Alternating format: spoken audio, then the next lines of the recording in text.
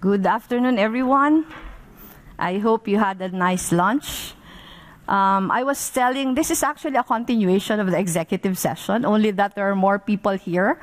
But I was telling um, those who attended the executive session that before coming to Zurich, I was in Boston for a month because I was invited by the Harvard Kennedy School to be among the five Hauser, Hauser Fellows.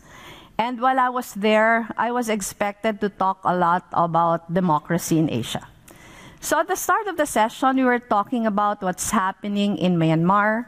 We were talking about what's happening in Thailand, um, in, in Indonesia, in Cambodia, many other parts of Asia, uh, where democracy is, is um, being challenged right now. But among the many questions being asked of me is, what's happening in the Philippines? Um, what happened during the elections? Why, why has the pendulum swung to the other side? And they were referring to the fact that, um, as far as the Philippine political history is concerned, we were coming from one side of the pendulum into another. Um, I was telling the others at the executive session, and I think this is important to understand why the Filipinos were very vulnerable as far as disinformation is concerned. Is because there has been a lot of frustrations uh, about the democratic processes that have been happening in the Philippines for so long. Uh, the Philippines was, was colonized for many years um, almost 400 years by Spain, about 40 years by America, um, an even shorter pe period by Japan. But we were able to gain our independence um, 1945. Um, our, our complete independence in 1945. And, you know, we, we observed all the democratic processes. And we had one president after another. Our, our democracy was patterned after the US. So um, we, were, we were having the time of our lives, being independent. But you know, the frustrations were brewing in the sense that um, during our colonial history, political power was actually entrenched in the well off, the well connected. They were the most powerful. And even after we gained our democracy, the democratic leaders and the democratic institutions were not able to diffuse power from the well off such that even now political power is still lodged in the well-off and the well-connected. Um, if you look at Philippine, Philippine politics, it's very, very usual that you have uh, political dynasties. Um, I was also telling the group that when I was a member of the House of Representatives, before I became vice president, among the almost 300 members of the House of Representatives, there were only 34 of us who did not belong to well-entrenched political, political families. So the frustrations were brewing. People felt that despite the democratic um, improvements and advances in our processes, they never felt the benefits that should have come with it. And now that it is the age of disinformation, those frustrations were weaponized. But the, the ironic thing about it is that it is still the well off who weaponize. It is still the political elite who weaponize those frustrations with the use of social media. Social media was the vehicle, and I was so surprised during the breaks that there are a number here from other countries who are also going through the same. Um, disinformation has been a very, very big threat to our democracy.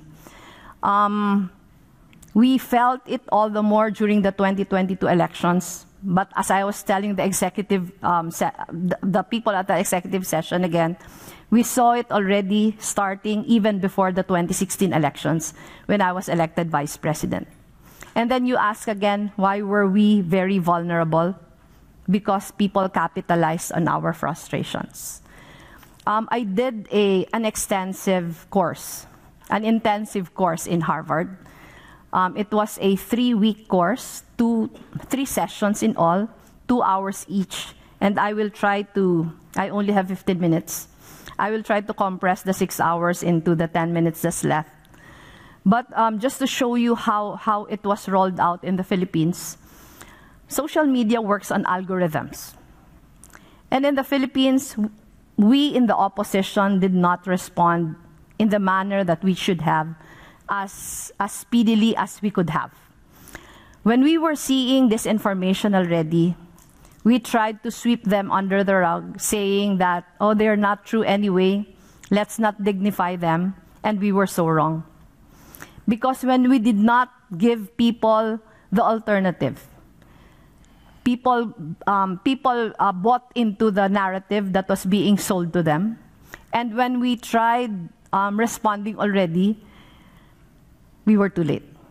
We tried responding, fake news was, was starting in 2015, 2016. We started responding only late 2018, early 2019.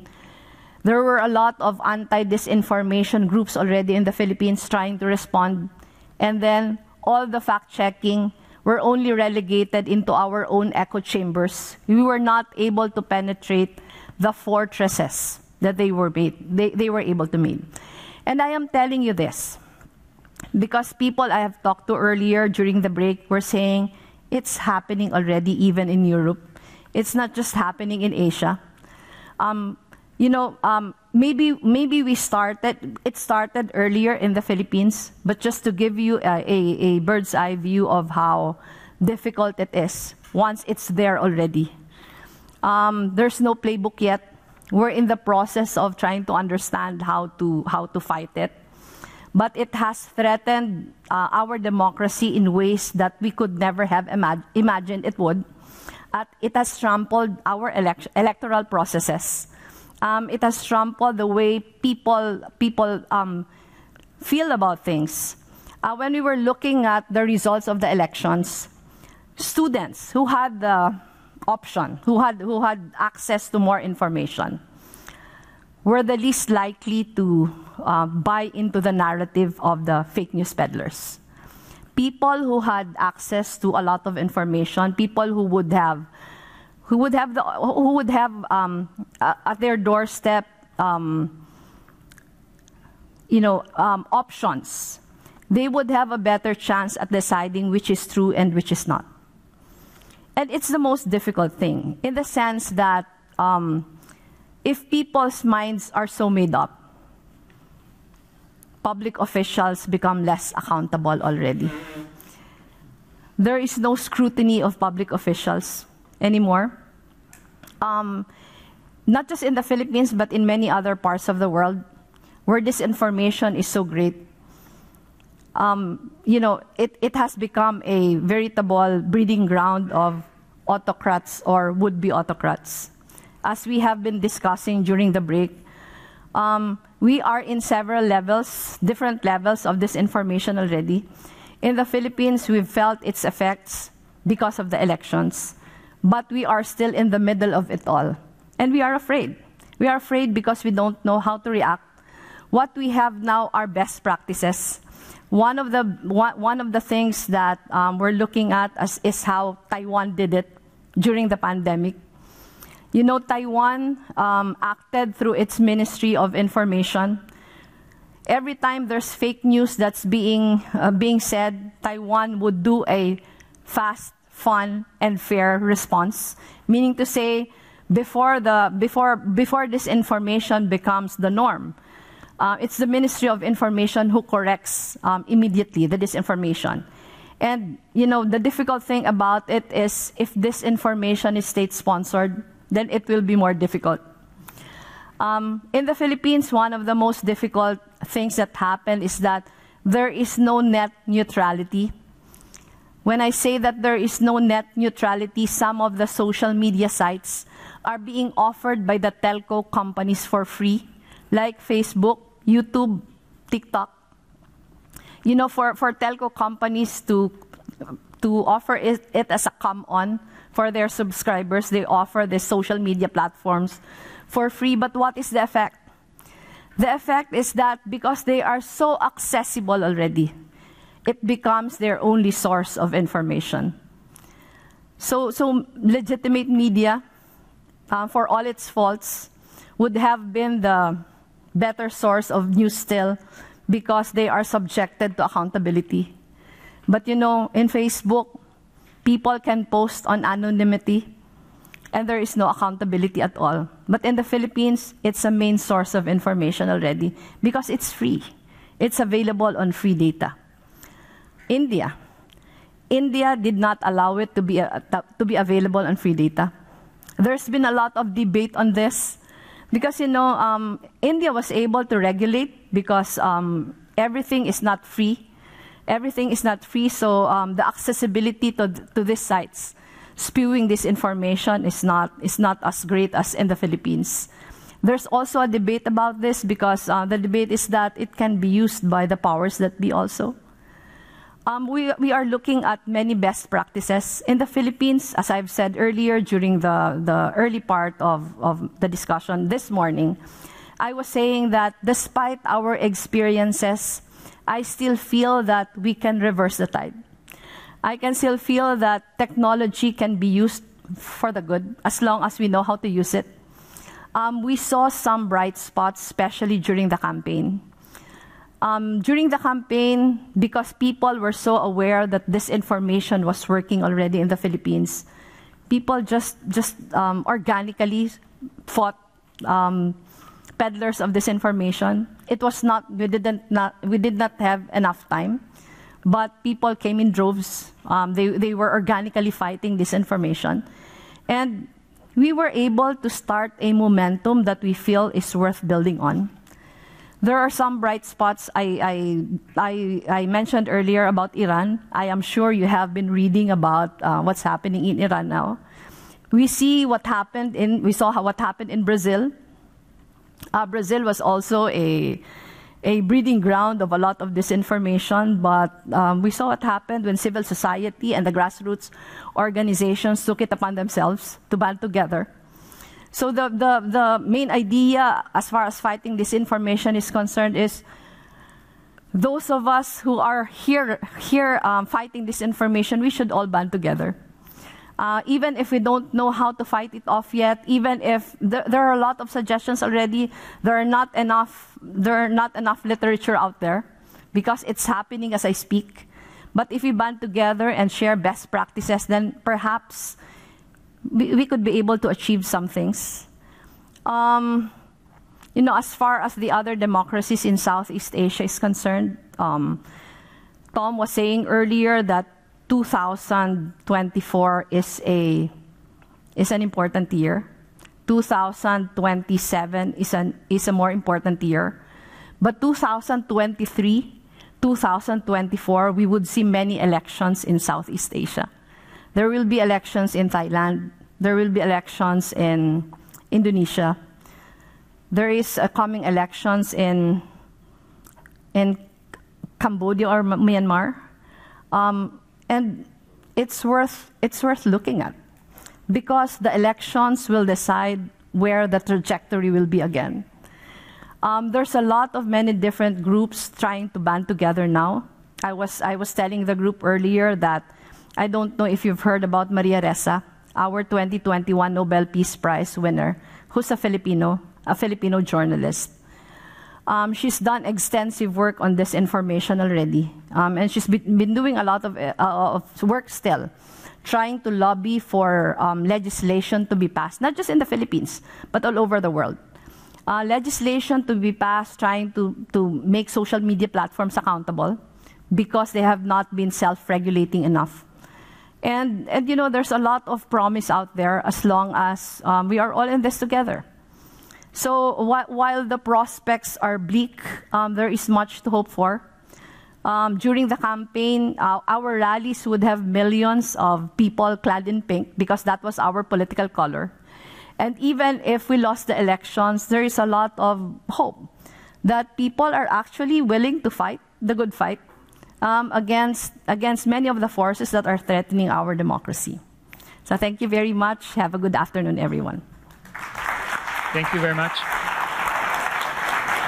Can I, yeah.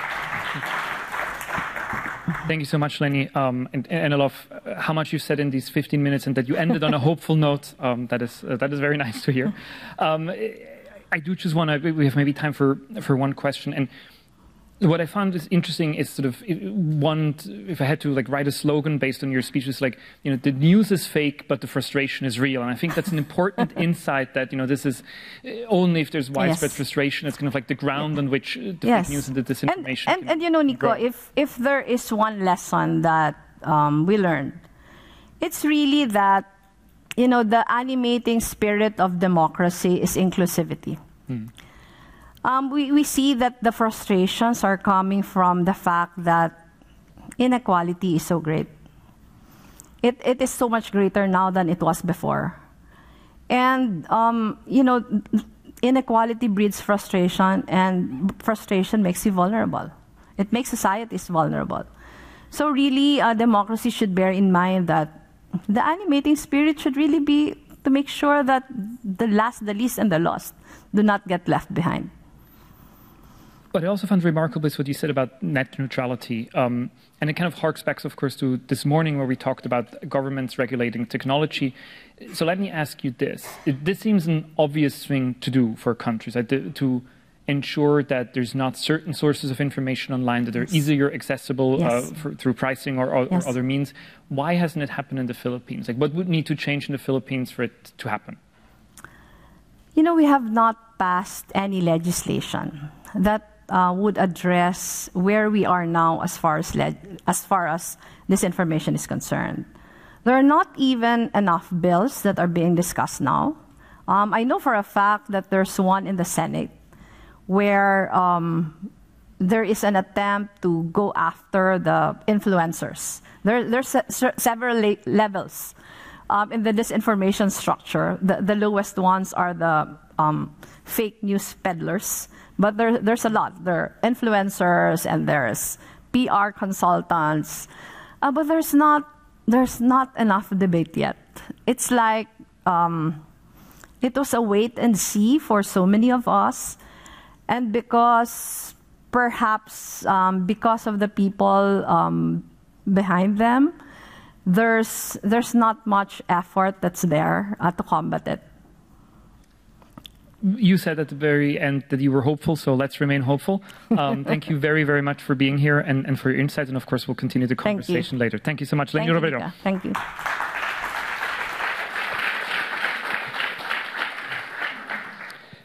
And now, again, it's my pleasure to welcome back Tomohiko Taniguchi um, first and then Raja Mohan for two very short responses and uh, expansions on the topic of democracy in Asia. Tomohiko, please.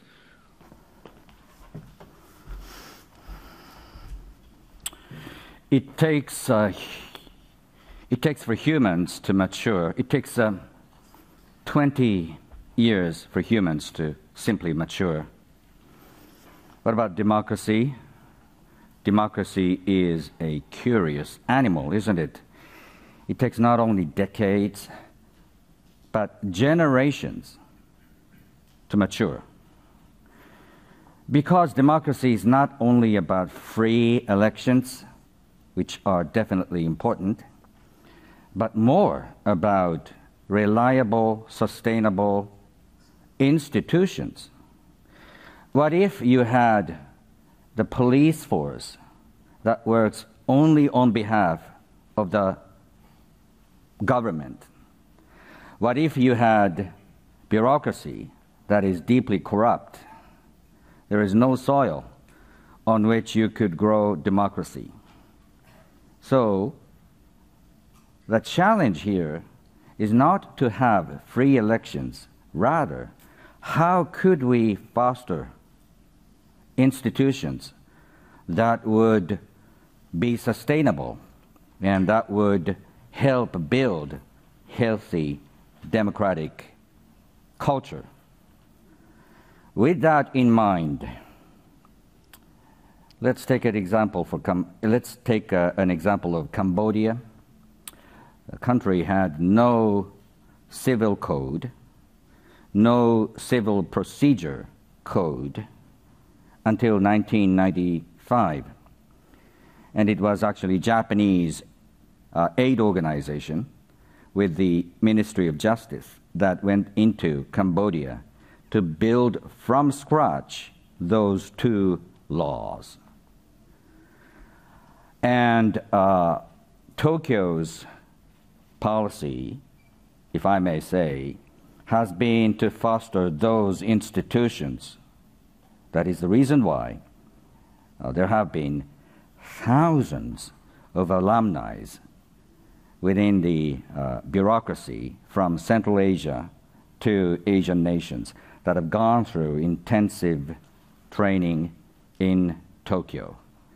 At each point in time, you have 2,000 uh, middle ranking career bureaucrats from Central Asia, Myanmar, uh, Vietnam, Cambodia, studying in Japan.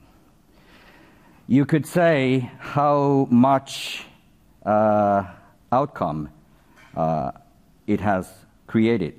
Well, not much, because of the gravitational pull that China uh, has against countries such as vis-a-vis countries such as Cambodia. But nonetheless, it is uh, an effort worth um, uh, doing. Now, in terms of Myanmar, Burma, it's been very much a disappointment because until uh, two years ago, uh, the Japanese government and Burmese, Myanmar's government, jointly worked to write school textbooks from, once again, scratch, from Myanmar language, mathematics, science, art, and uh, physical exercise. Those textbooks, all of them, from elementary school to junior, were being written jointly by Japan and Myanmar. No other nation in the world, I think, has done anything like this with a foreign government, but to no avail. But we shouldn't be disappointed because time will come once again for these sorts of things to be done again. Uh, the point that I was trying to make is that democracy is not only about free elections. Uh, democracy, not sustained by institutions that are reliable, is a flower in the sand. Uh, and democracy is very much a delicate flower, and it takes generations to mature. Thank you.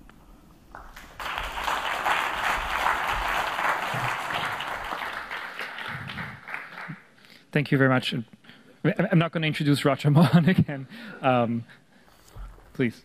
I think I'll follow from where uh, Tomohiko left. Uh, that democracy takes a long time to build.